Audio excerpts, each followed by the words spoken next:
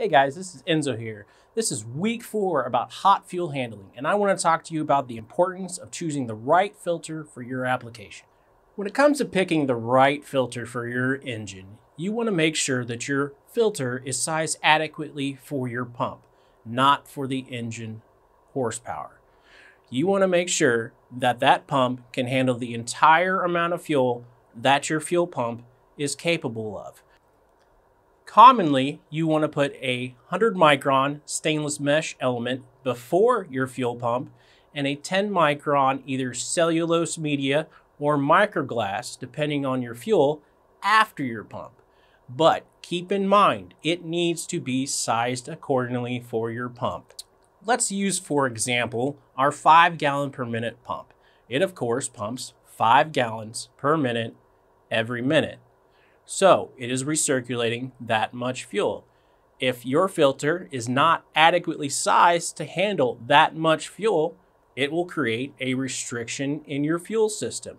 That restriction is going to create cavitation and the overall concept of hot fuel issues. When it comes to the filtration micron rating, it's not so much just its 10 micron, it's also the surface area of the actual media itself.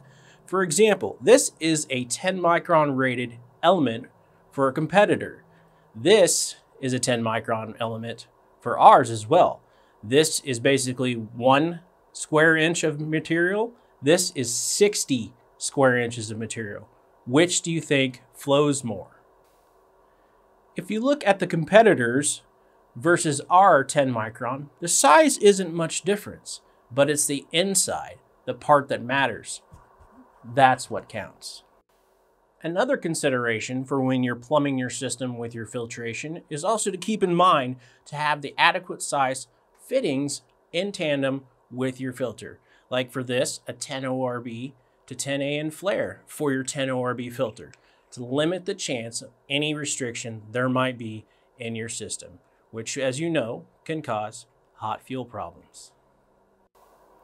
An example of a filter we offer for like bread and butter applications from an In-Tank 340 pump up to an A1000 inline pump is our 10 ORB filter.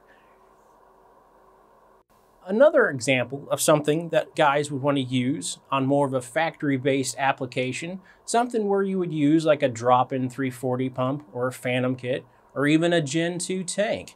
You would use something like the AN fittings that are already part of the housing, which, as you can see from this cutaway, do not sacrifice flow with the chamfered edge that helps with added flow of your fuel with less restriction.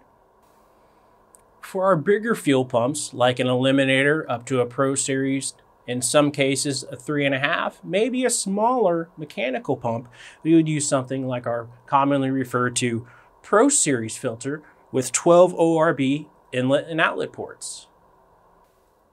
For the customers with the larger fuel pumps, like the 3.5, the 5 gallon per minute, the 7, the 10 gallon per minute, even some of the large mechanical pumps up to 32 gallons per minute, you would want to look at something like our 16 ORB inline filter with 16 ORB inlet and outlet ports available in the common micron rating sizes of 10, 40, and 100. When it comes to filtration, we like to use the mantra that a filter is a good insurance policy for your investment of a fuel pump. You want to make sure you have adequate flow for the money you have invested in your quality Aeromotive fuel pump. For example, like our inline filters, you wouldn't want to spend pennies on a cheap insurance policy to protect your investment. You would want to buy a quality unit, spend the extra couple bucks, get yourself a better unit, protect your filters, and protect your fuel pump with a quality Aeromotive filtration with our better surface area, media, and quality design.